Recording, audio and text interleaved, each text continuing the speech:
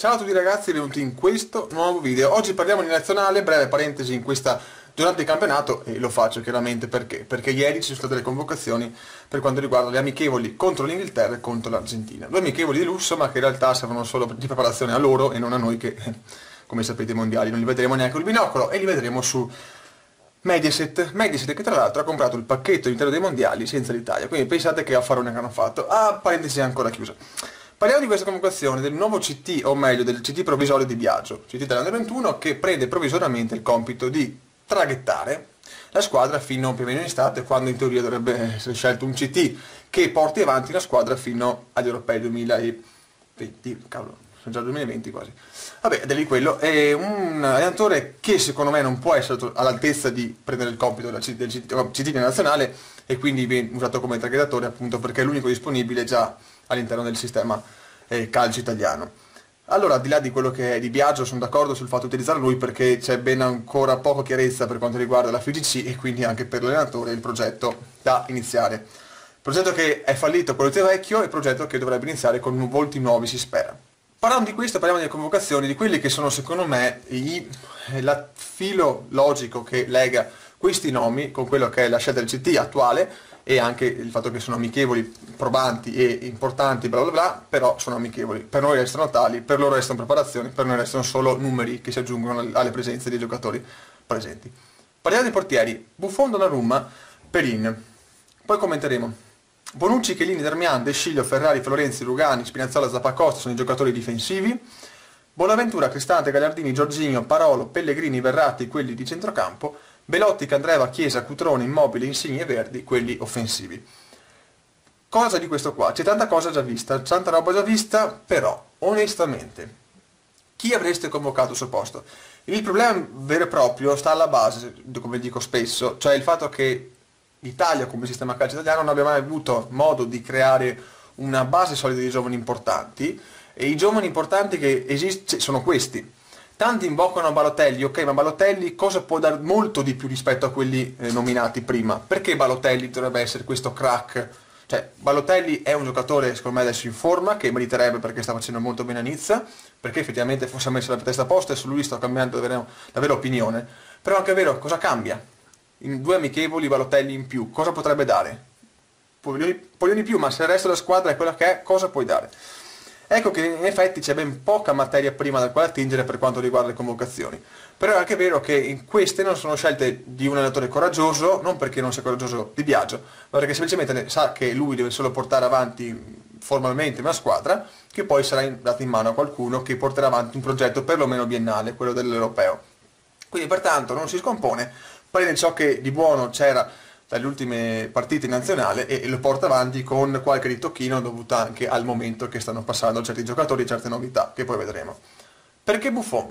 Perché Buffon per dargli il contentino, un regalo per salutare Buffon nel migliore dei modi, a prescindere dalle sconfitte o meno, ma non con l'eliminazione no, mondiale.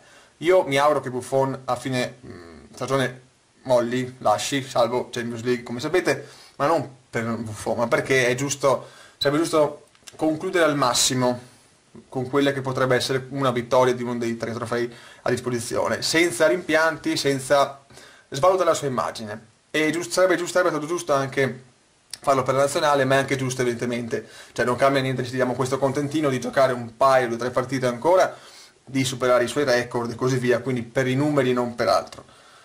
In effetti Buffon copre Donnarumma e Perin, che Donnarumma ultimamente sta passando i migliori momenti, qualche papera di troppo, i primi mesi della stagione con qualche problema contrattuale, qualche problema con la sua tifoseria del Milan, quindi adesso si parla di Donnarumma che dovrebbe approdare in altra squadra, con Reina, futuro portiere del Milan, insomma ragazzi, Donnarumma forse attualmente non è che dia garanzie, quindi anche giusto Buffon, alla fine l'alternativa quale sarebbe?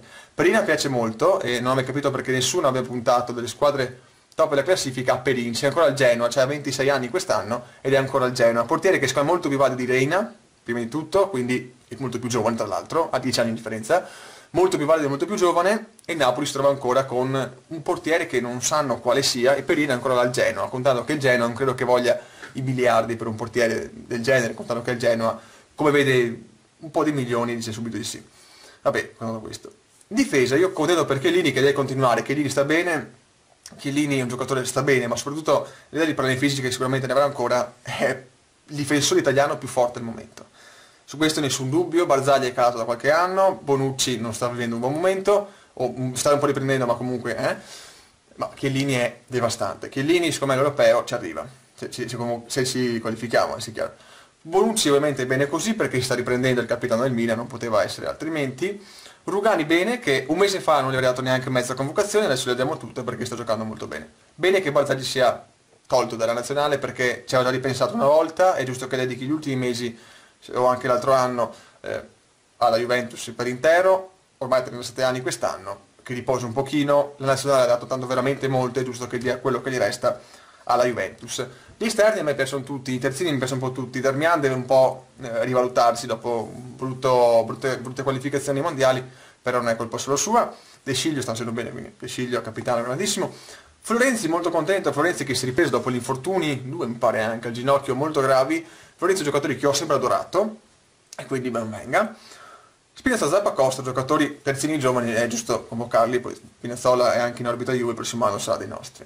Centrocampo, Bonaventura, sono contento, Bonaventura è un giocatore che mi è sempre piaciuto del Milan e tra i più sottovalutati secondo me.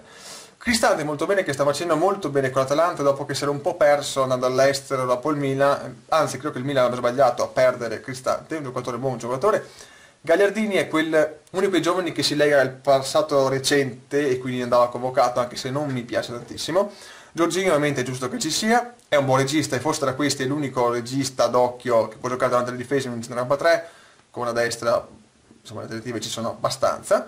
Parolo, uno di quei giocatori che si sacrifica molto, non è un fenomeno, non mi piace particolarmente perché lo trovo macchinoso e non tecnicamente, tecnicamente fenomenale, però è un giocatore che, eh, che onora la maglia, ecco, quindi i giocatori che onorano la maglia sono tanti in questa nazionale perché abbiamo pochi talenti talenti, è giusto che giochino, che giochi. Pellegrini piace molto, della Roma giovane, quindi è giusto che sia così. Verratti è l'eterno incompiuto, secondo me. Io avevo una grande stima per Verratti, ce l'ho ancora in parte, però è anche vero che se a 26 anni, come ne ha Verratti quest'anno, non, ha ancora fatto, non mi dà ancora l'idea di aver fatto quel salto di qualità completo del grande centrocampista europeo. Secondo me lui ha fatto l'errore di andare al PSG per, per i soldi, quello che è, senza fare lo step intermedio di una squadra sempre big, ma una squadra più operaia, come la Juventus, forse sì, per quando sia big, forse anche più del PSG, ma il PSG ha un po' quella puzza sotto il naso della squadra piena di soldi, ma che poi alla fine, come palmarès a livello europeo, poca roba, avete idea di... spero che avete capito il senso. Belotti, tanti hanno detto appunto sul Balotelli, non credo che faccia differenza chiamare Balotelli per Belotti, perché Belotti non sta giocando benissimo. Alla fine cosa cambia? Belotti è un giocatore che va valutato bene perché è il futuro dell'attacco, secondo me, ed è più forte del, degli altri qui presenti, forse tranne uno che sta emergendo, poi vedremo chi. Candreva è il filo del passato che si lega, a me non piace Candreva particolarmente, è un po' il parolo dell'esterno, cioè giocatori si sacrificano che sono legati a un passato non felicissimo ma che onorano la maglia, ecco, quella è una cosa importante, evidentemente un po' si lega a questo anche per il discorso del gruppo. Chiesa benissimo, giovane interessante, Cutrone, ecco, Cutrone è forse l'attaccante più interessante che è un, ricorda molti Pippi Inzaghi, ma perché al Milan, ma perché fa i gol e fa eh, anche di importanti e pesanti. E Cutrone è un bel giocatore. E secondo me è quell'attaccante, adesso vediamo come andranno le cose, ma che potrebbe essere quello che Balotelli non è stato, non perché sia per forza più forte di Balotelli o forte come Balotelli, ma perché Balotelli gli è mancata sempre una cosa, la testa. A 28 anni Balotelli sta un po' recuperando, però un po' troppo tardi, diciamo. Cutrone invece è un ragazzo molto serio, ho letto anche delle cose di lui, della famiglia, del padre che, detto, che è orgoglioso, però Cutrone potrebbe essere veramente del futuro più forte di Immobile, ad esempio convocato, ma Immobile merita, merita veramente questa nazionale, a me non piace particolarmente Immobile, eh, non è questione di forte o non forte, un tipo di giocatore che non mi piace molto, però Immobile è il cuore della Lazio in attacco, quindi è giusto così. Insigne e Verdi, quindi contento per Insigne che vabbè, confermato Insigne giusto così, e Verdi che è un giocatore che ultimamente bazzicava qua e quindi chiaramente qualche nome nuovo magari è giusto provarli in queste occasioni prima di dare in mano al City nuovo, chissà chi sarà, una squadra perlomeno un po' rodata. Detto questo, sono convocazioni che possono mettere molti dubbi perché c'è molto dello scorso anno, però in effetti cioè, cosa cambiereste? Quali sono i nomi importanti da mettere in più di questi? Cioè, veramente, quali sono? Non ce ne sono e purtroppo questo è, questo rimane, sono anche tanti nomi. Eh, quindi ragazzi, questo abbiamo la cosa che interessa a me è che ci sia un allenatore che quadri il discorso della rosa. eh, non possiamo pretendere di avere talenti quando non ce ne sono, possiamo pretendere però di avere un attore capace di mettere insieme ciò che abbiamo, abbiamo a disposizione e fare un po' quello che ha fatto Conte con la nazionale. Giocatori, c'è la parola che era un fenomeno, ho visto però un fenomeno con Conte, ho visto Giaccherini, cioè ho visto giocatori che praticamente non valgono così tanto valere più di quello che in realtà la carta dice. Quindi è quello che manca alla nazionale ed è mancato con Ventura, è Ventura l'allenatore. Non i giocatori, quelli purtroppo eh, parte da un dis- discorso di fondo del fatto che non c'è mai stato un investimento serio da parte di sistema calcio, di squadre, sono discorsi già fatti, che abbia veramente alzato il livello dei, dei, giovani italiani e pertanto questo, adesso ne paghiamo le conseguenze per anni e anni, decenni di, eh, di, di, di, sistema malato in tal senso e spero che il nuovo presidente PDC con il nuovo progetto metta le basi per un futuro più florido perché se il discorso continua in questo modo qua le figure che abbiamo fatto finora potrebbero essere ben peggiori di quelle fatte fino ad ora. Perché adesso perlomeno i buffoni che lì ce li abbiamo ancora ma chissà in futuro se ce li avremo ancora di quel livello là come sempre Forza di Uno, in questo caso anche Forza Italia, perché nazionale ovviamente io la tifo quindi non, non ho problemi a dirlo. Ci vediamo prossimo che sarà sarà. Buona domenica. Ciao.